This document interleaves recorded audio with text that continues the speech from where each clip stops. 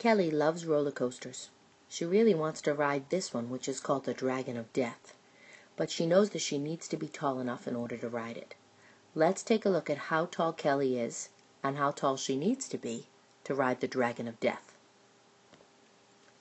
Kelly was recently measured at school. When she was measured, she was measured as being 49 inches tall. In order to ride the Dragon of Death, you have to be at least 54 inches tall. Kelly is not equal to 54 inches, but she wonders how many more inches she has to grow before she can ride the Dragon of Death.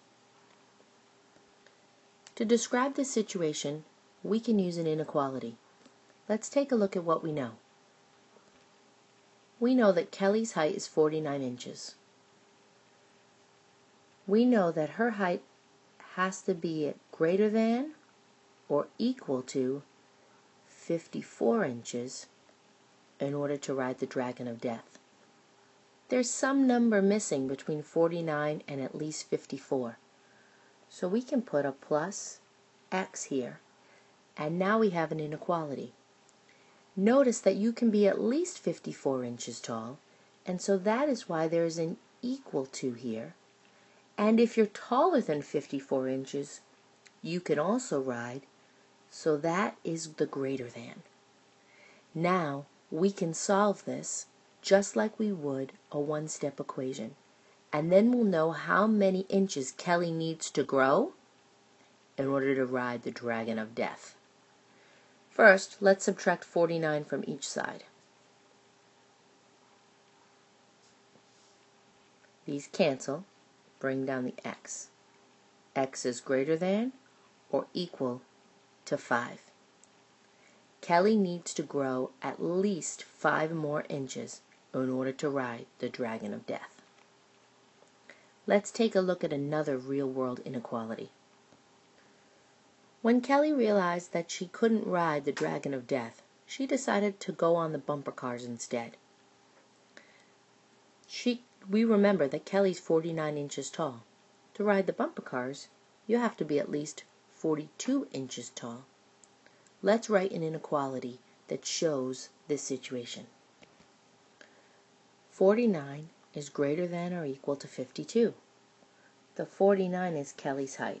We're just going to call that K and the 42 is the bumper car's height. We're just going to put the BC for that. Kelly's height is greater than 42 inches. So, Kelly is all set to ride the bumper cars. Again, an inequality helped us to describe this situation. Max has $1. He wants to buy penny candy. However, not all the candy is a penny.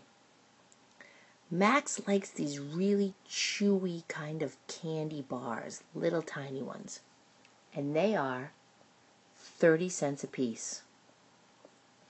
He wonders how many he can buy for his dollar. Max wants to know how many of these little candy bars he can buy without going over one dollar we can write an inequality to describe this. 30 cents times x equals a dollar. How many candy bars is represented by our x? We're going to multiply that times the 30 cents, and it's not going to be equal to a dollar though. We need to write an inequality here. Let's get rid of this, and let's write 30x has to be less than or equal to $1. A common mistake is to use an equals, but when something has to be less than or equal to a dollar, and in this problem we said we didn't want to go over a dollar, so it has to be less than or equal to a dollar, we use an inequality. Now let's divide both sides by 30 cents. And we have x is less than or equal to 3 point and 3, 3, 3, and it repeats. The 3 is the key number here. Even though Max will have a little bit of money left over, he can't buy more than 3 candy bars.